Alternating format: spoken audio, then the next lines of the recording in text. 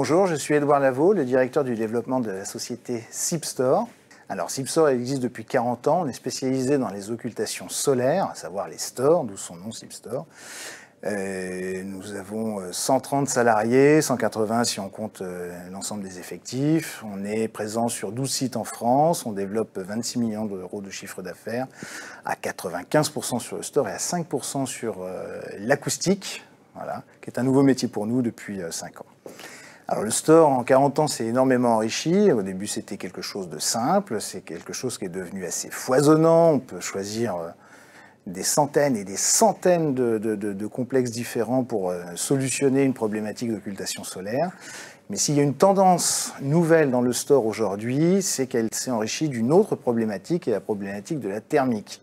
Avant, on demandait au store d'être une solution pour venir euh, euh, contrebalancer une, gêne occasionnée par le soleil. De plus en plus, on demande au store de, réfléchir dans l'enveloppe du bâtiment avec les façadiers, etc., d'être un tout, et qui vient solutionner une problématique, cette fois-ci de thermique, pour devenir en fait des bâtiments de plus en plus euh, euh, frugaux, de plus en plus efficients thermiquement, et donc de moins en moins énergivores.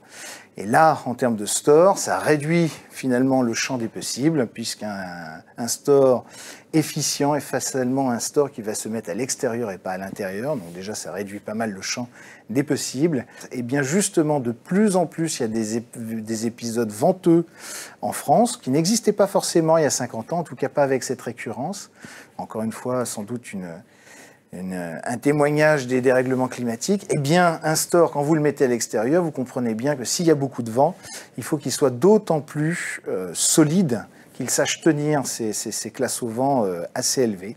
Et eh bien, ça réduit encore plus le champ des possibles. Donc finalement, demain, ça sera un store extérieur, mais un store extérieur qui tient euh, aux, forces de vent, hein, d'autant plus qu'on construit des IGH, donc la force du vent là-haut, c'est pas la même qu'en bas. Hein.